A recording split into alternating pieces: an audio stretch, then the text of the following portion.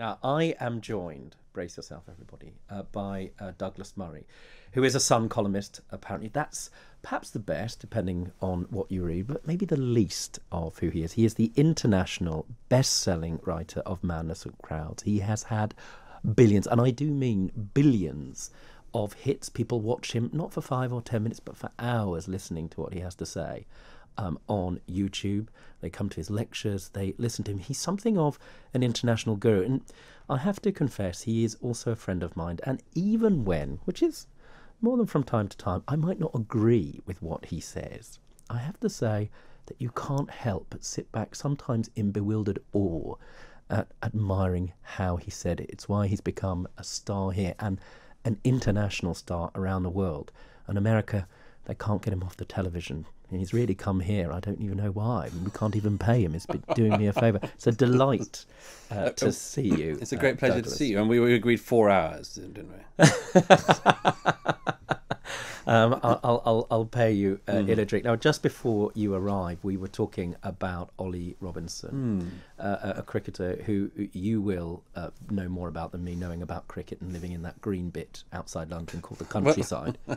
um, that they've unearthed these tweets mm. that he posted when he was a young man, and now he is subject to this new phenomena mm. of cancellation. Mm. Right, wrong, where are we? I wrote about it in the Sun yesterday because it, it, it, really troubles me. This case, I think it'll trouble a lot of the people joining us um, for lots of reasons.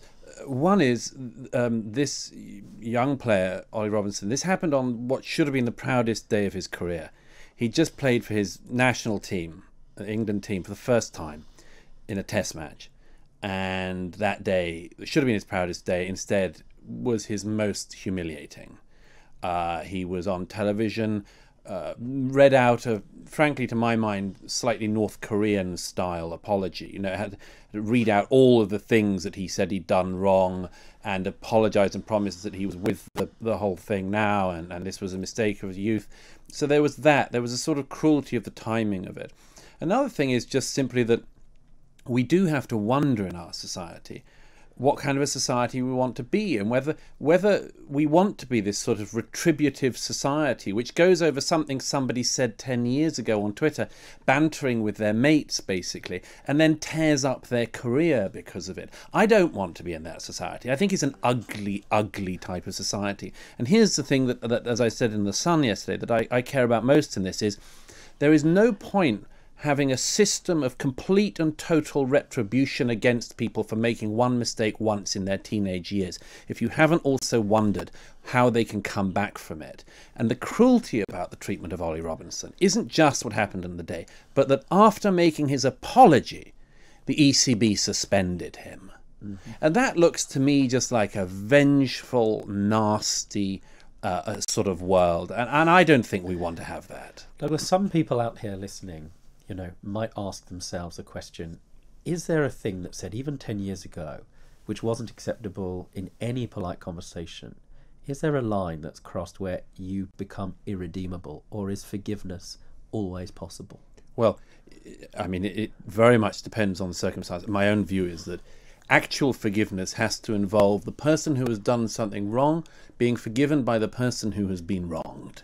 It's an absolutely central thing in this. I mean, I've seen it. I saw it once in the states. Uh, there was a terrible. There was a, there was a, a shooting by a, a, an unbelievably rare but a, white supremacist in the south of the country uh, at a black church, and the families of the people who had been killed came out the next day and said they forgave the killer. I mean, that is a jaw-dropping thing to witness. So real forgiveness is one of the unfathomable uh, abilities of mankind and one of the most admirable. But what we're dealing with in our age and this in this country at the moment isn't that.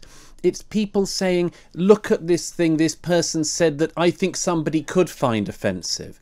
A lot of it is banter a lot of it is it's been reported by the way the Ollie Robinson case is fascinating because as always in this very few people actually look at what is being said. So they say racist and misogynistic tweets. A lot of it is uh, the, the misogynistic allegation is about stuff that frankly you know look teenage boys joke about girls. Teenage girls joke about boys. Is all of it nice? No. Would you want any of it put in front of the public 10 years later? Absolutely not. Mm-hmm. the worry i have douglas is that um, i have to be clear you know i do do my work and prep my briefs before um, talking about anything, but I was very concerned to hear that I hadn't been aware, in fact, that one of the tweets included the L word, which wasn't acceptable 10 Sure. years ago. And That really goes to the heart of the question that I'm asking you. Yeah, yeah. Is there something, is there an expression which is so beyond the pale, even then, that that should be a subject of enduring shame? Well, um, he- he- here's an oddity of that, though. I, I saw that tweet. Uh, uh, my understanding of that is he's not using it, saying that, using that word as a derogatory term against a particular black person or against black people in general. He seems to be using the term. It, this, the, the, the, the, the current standing on that word is any use of it by anyone who isn't black must be an act of racism. And you could take that view. But there have, for instance, been recently people in America fired from their jobs for citing that word as an example of a word you wouldn't use. So there is a weird um, danger around it. Should a 17 year old 10 years ago have known that? I think so, yes. Um, does it mean that he's a racist? No, not necessarily. Uh, Isn't it, though, some people would argue, and we'll come back up to the BAME community, in this instance, um, people of colour, to make a determination whether they forgive him. Just before we go to the news, one of the examples I think of is Prince Harry, and how offended I was when he was a young man with a Nazi motif going to a fancy dress competition. Hmm. Now I thought, how stupid, of course. Hmm. I understood, but it was deeply offensive. What did he do? He had the opportunity to meet the then now past, sadly, chief hmm. rabbi. He learnt from it, and the community forgave him, and he seems to have been forgiven because he seems to represent a different political point of view, for example. Something for us to think about, and I certainly agree with you that none of us want to live in any society of any value where forgiveness isn't a possibility. We're with Doug Murray. Now, he's agreed to come in and speak with me. You don't have to sit at home along with the other billions on YouTube because you can hear him today on Talk Radio. Uh, but I am pleased, thrilled, and above averagely delighted that I've got Douglas Murray here, international superstar writer, sold billions of books. Well, millions, and is a YouTube sensation, a sensation across the world for his, um, well, uncompromising activism and his fearlessness in the face of, I have to say, attacks on him from the left, who have largely, some may argue, um, unanswered a lot of the claims that he makes in his book, The Madness of Crowds, which is worth reading. Now, one of the things we agree on, I think, Douglas, is our position on free speech. And I'm going to start by telling you a very quick story, which is about my, my grandfather. Um, as you'll be aware, he was a Holocaust survivor, and I remember going with him to Speaker's Corner. This is a man who had lived in an age, through a moment, through the darkness of having quite literally touched the face of tyranny, and knew i- in every sense what it meant to live under the asphyxiation of a state with no freedom. And we would listen to the worst anti Semitic bile. I'll never get it. He, he'd say to me, oh, You see, Hess, he spoke like that. He said, uh, In this country, this man can say whatever he wants. And despite my strong views and my proudness of being a member of the LGBTQ community and uh, certainly a proud uh, Jewish person, I'm a free speech fundamentalist. Hmm. You know, I think it stops at th- shouting fire uh, in a cinema. Uh, you wrote um, an excellent article um, in the Telegraph on Cambridge University, but more broadly, your activism and writing about this, I think, has been something which all of us should read and consider. Can, can you just talk about and help us with that? Sure. I mean, I'm pretty much a free speech absolutist. I disagree with you on uh, two things. There. I mean, I, I, I'm happen. Uh, you could call me a member of the LGBT community, but I'd be quite annoyed if you did. I loathe that stuff. Oh, really? I loathe it. I'm not a member of a community. What is it? Who's the group head? You know, who's our leader? Me. Oh, well, if that was the case, I'd be happier, happier to, to say, "Oh, I'm a member of the Rinder community." Uh, I don't, I don't, I don't want some uh, big gay panjandrum claiming to speak for me uh, from Stonewall or any of these things. I loathe these groups. I think they're pompous and past their sell-by date. Well Um, decorated, so that- though. Um, uh, we'll, we'll skip that. So there's two things I disagree. The first is that the second, by the way, I disagree with the, the limit of um, the limit of free speech of shouting fire in a crowded theatre. As I often point out, if there is a fire in a theatre, it's your duty to shout fire. And very often, that is actually the most important duty: is to say the thing that you have to say, um, which needs to be said. And uh, my own fear for free speech in our own society is that what is happening is that a sort of um, a war against it is being waged by dull bureaucrats who would like to twiddle with our heads and our minds and even our facial muscles. I'm referring here to the Vice Chancellor of Cambridge University, who, as I wrote about last month, uh, recently issued guidance that you could if you were at Cambridge University, you could anonymously inform, anonymously inform, on a fellow student or a professor if they did a range of things, including so-called microaggressions. And a microaggression, for people who don't know, are lucky enough not to know, Right. is an aggression so tiny that it might be entirely invented by you. um, so it, it allowed people to inform on people anonymously if there was a microaggression going on. Going on. And one example of a microaggression alleged was if any person raised an eyebrow whilst any member of a minority was speaking. Now, I'm not having this rubbish, and I don't think I think it's beneath our contempt, and certainly beneath the contempt of very brilliant academic thinkers at one of our foremost universities to be told how to behave, to be told when they can raise an eyebrow or move a facial muscle. And this is what we're dealing with. The particular person who was who was um, trying to make that happen is an incredibly undistinguished Canadian lawyer called Stephen Toope, who unfortunately is the vice chancellor of Cambridge at the moment. But people like this have gone through our public life in the UK. These I- dull little accomplished people who insist that they know the words that all of us should say, the sentiments we should express, and when we're allowed to move our facial muscles. I think we need to stop. I think we need to ask these people, who the hell do you think you are?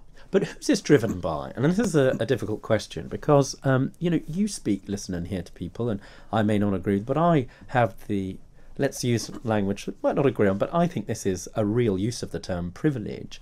And part of the privilege I've had over the years is to speak to people beyond the borders of London, people that have lived experiences outside of this city where there's rich cultural life. I'm going to use, for example, all of the places that went blue recently, Hartlepool, etc. And what I know is that they have real commonality. I answer legal questions for them m- uh, uh, most days. Um, have real commonality with, with, with, for example, the communities of, of colour uh, in the Bangladeshi community in South London, for example. And the issues that they really care about have nothing to do with this stuff. It's about housing, um, it's about access to Yeah. power, good schools for their kid. They share this stuff and they have no access to power whatsoever, but they are being driven apart by this stuff. Yeah. So, my question is is it really uh, communities of colour, let's call them that for, for the purpose of this discussion, who are driving this discussion? No, no. So who's behind it's it? all it's all it's all driven by uh, guilt-ridden, um, banal figures who tend to be white, um, who believe that this is the game to play to win in this era. And they may not be wrong in one way. They're quite they're quite clever. These are people who just want power. In a previous age, they'd have switched to becoming Protestants when the king was a Protestant king, and they would have switched to being Catholics when the king was a Catholic king. Uh, they have decided that in the current era, you have to do a lot of stuff. By the way, you just did it again earlier. You said lived experience. What other type of experience is there? Corrected by Douglas Murray. So you have to do all that thing. You have to talk about lived experience. You have to mm-hmm. talk about communities. You have to talk about pride in communities and all of this. You have to talk about intersectionalism. You have to talk about privilege. And I'm not up for that game. And I don't think other people should be either. I think that we should address real issues where they mm-hmm. exist. And they do exist in this country. We have so many problems facing us in this country. We have, we've just gone through the pandemic with millions of people's jobs at risk, with people on furlough, with people locked in their houses, and we see major figures of proud institutions in this country Mm-hmm. playing these silly and divisive games. I want to get these people out of the way, Well, out of our collective way. I like the word lived experience because I think it goes to power. Now, we may disagree about this, but I'm going to repeat this. The reason I worry about this debate, and I'm going to ask you about where it emerges from, because I have my suspicions, Hmm. and I suspect you're very articulate about this, and I know that you've thought about it deeply and really thought about it. But the lived experiences of people in Bolsover, tribally Labour, Hmm. now Conservative, Conservative, Sedgefield, Tony Blair's constituency, Hmm. for heaven's sake, Hartlepool, are similar to the day to day lived experience, whatever you want to call it, of people that don't have power. And very often those are people of colour. And I'm going to repeat those communities are driven apart by this argument when they should be working on collaboratively all of the issues that prevent them from making meaningful change and having access to social mobility. Now, I'm going to park that for a second because one of the suspicions that I have is this. Hmm.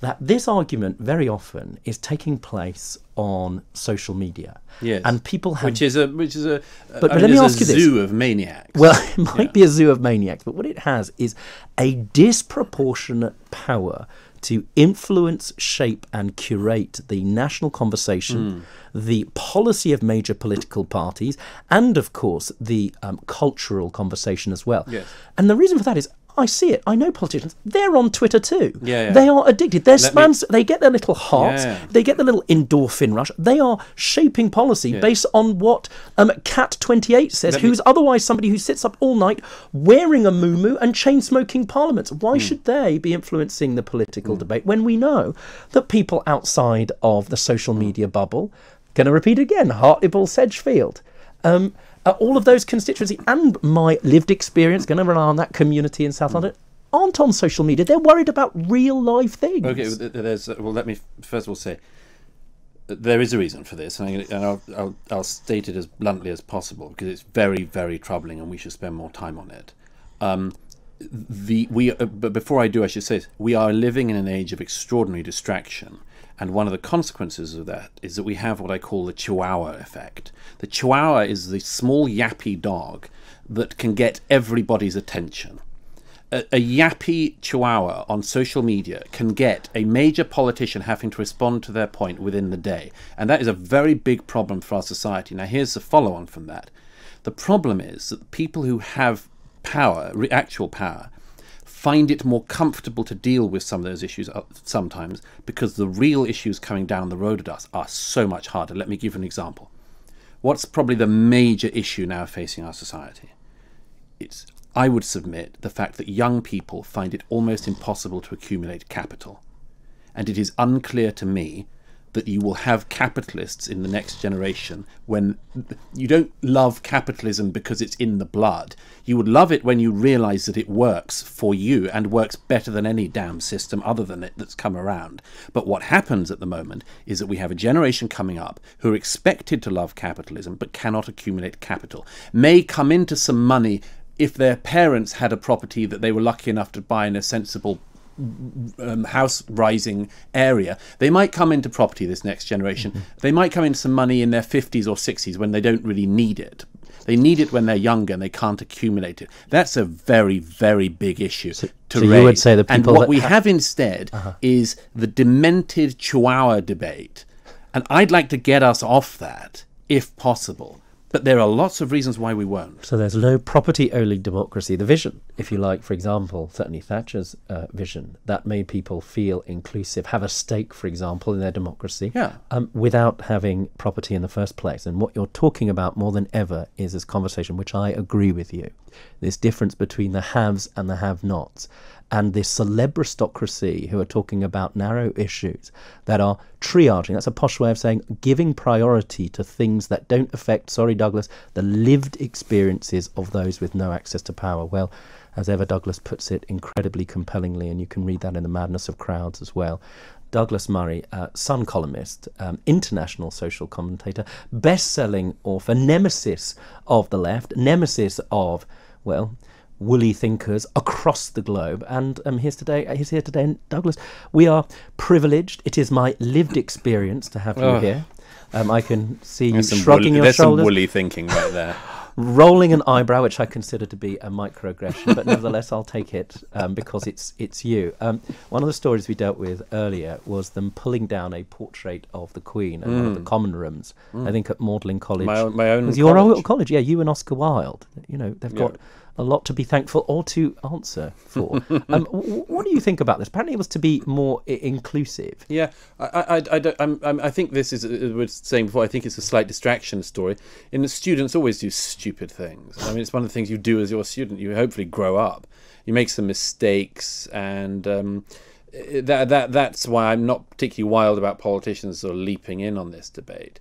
However, it is telling in one way, which is the presumption that uh, um, if you have an international cohort of students you've got to sort of erase the Britishness somehow. I've written about this a lot, not least in the Strange Death of Europe. I think that it's it's a great mistake in general. I think that people most like to adapt into a country and to be in a country which is recognizably that country. When I go into another country, I don't want it to adapt to me. I don't want them to take down their monarchs or their political leaders. I don't want them to not fly their flags because I'm there. I think that it's an incredibly pretentious and self absorbed thing to presume that because you've gone to another country, that country should tear down all its emblems to suit you. That's not how this country should work. I don't think it's how most foreign students would want this country to work. Mm-hmm. I think it's almost certainly, once again, one of those things done by um, overprivileged and pretentious white students who don't know how lucky they are. Mm-hmm. Um, and uh, I, I, would put this down, chalk this down to one of the stupid things they'll do in their lives. And I would hope that they'll grow up and uh, do less stupid things when they when they are uh, graduated from. And presumably also hope there'll be some forgiveness which is in, yes. in short supply. But I mean, but but this idea that, that the Queen is you know con- uh, uh, connected with colonialism. I mean, everything's collect- connected with everything at some level. I mean, Magdalen College is co- connected with colonialism at some stage. Uh, when Magdalen College was founded in uh, 15th century, I'm sure that there were people in the foundation who were not on board with gay marriage and mass immigration and and, and all sorts of things. I bet. Oh, you know, I, I, women's rights weren't completely great until only about 40 years ago. Mm-hmm. So we could play this game endlessly. We could pull down absolutely every monument and, and, and building in this country. But I would suggest that that's a bad idea. And so whenever I see these sort of rampaging morons, I just say, we should make them stop. Well, Douglas Murray has said, make, make you stop. Now, I, I, just want to deal with something very, very quickly before we come to um, the next show this afternoon, which is going to be fantastic because I've got you here, and everybody knows you as very serious. But of course, you know that's just one of the delightful buffet of Douglas Murray, one of the gorgeous threads that weaves itself into the tapestry. Because you can also be very funny as well, and actually, I think one of the reasons people respond to your writing across the world so well is because um, it, it, you often are funny. I have to say, um, anybody that gets the chance to listen to the audiobook of Madness of Crowds. Uh, what is it? The rap that you don't don't you read the words? Would you yes. read the words to what? Which, which is I, I, I, quote uh, the work of um, N. Minaj, um, uh, Nicki Minaj. Yes, we, we, we, won't say what it is at this time of day, no. but it's definitely worth a listen to uh, Douglas reading in his. Uh, inimitably beautiful British voice, uh, the words to that I, rap. I now, met somebody who had that as the ringtone on their phone. Uh, now, um, a, a, man, Douglas, has uh, sparked a debate because um, it's about how often. Um, well, men, everybody should change their underwear. Now, I'm reading uh, this. Um, the man from the US, he took to Twitter where he dropped the bombshell that he wears his underwear, get this, people, 10 times before putting them in the wash. And uh, I mean, who goes and does that on Twitter? I mean, but mm. he does. And he penned this. He said, uh, Let's be honest. No man wears a pair of underwear just one time before washing them. Every man wears each pair of underwear at least three to ten times before washing them. Let's keep it a buck. Now, he, he hasn't given his name, and I, you know, one doesn't want to, is it called dox people and find mm. out where they live? I'm going to say this again. I said it before. Um, one day is appropriate. Nobody wants to clean up your, your skid marks. And if you're not cleaning them up yourself, then it's either an act of, sorry, lived experience feminist violence against your probably wife who's cleaning up the poo on your knickers or whatever you call them nowadays, or worse still, um, a poorer person who's cleaning up the poo on your pants. So what are you doing, men? Be clean. Now, um, I've said that. That's my reply out here. I'm not going to go to Twitter and respond to whoever this person is now with five followers and perhaps a cat. But um, I'm going to ask this of you, Douglas, oh, because oh, it's a gift of an opportunity. no. You know, you're always being serious, and people don't get to see this side of you. Do you have any bad habits? The person you were just referring to, I, I referred earlier in the interview to uh, the discussion to the Chihuahua effect on social media. I think we'd agree that this man you're just referring to is, is certainly a dirty. Um, uh, but I don't think I have any bad habits particularly. I, I, I'm relatively hygienic. I think that's an important thing to try to be or aspire to be. Um, uh, I'm probably irritable. That's uh, I have been known to be irritable, um, even with people very close to me. Um, that's that's a possibly bad trait. I uh, apart from that, no, I don't. I, I don't. I don't think. I think if you asked anyone close to me, uh, uh, they could probably give you a longer list than I can give myself. I don't know. I I think um, you're normally quite charming. I mean, you, you've sort of described yourself as a, a British Mary Poppins, sort of practically perfect in every way. I mean, I I'm didn't not going. describe I myself mean, I'm as not a going British to do Mary a, Poppins. a, a Cathy Newman. So, so what you're saying really is you're practically perfect. But uh, Uh, I'm not practically perfect. I, I have an awful lot of flaws, um, and am riven with um, irritations. Um, but I'm very glad I am myself. Um, certainly, I'm more irritable than Mary Poppins. do you think? Oh yeah, no. And what do you do with that irritation? Because one of the things I, I worry about uh, with you is that, um, you know, I, I wonder how, and we don't have a great deal of time for this before uh, we break, but um, do you do you, do you remain hopeful? oh yeah. Why? Oh, I'm endlessly hopeful. Well, because you just need to go out into a city like this and see all the opportunity. I mean, it's an amazing thing. We're just sitting here overlooking London. It's one of the world's great cities. We've been through a terrible year.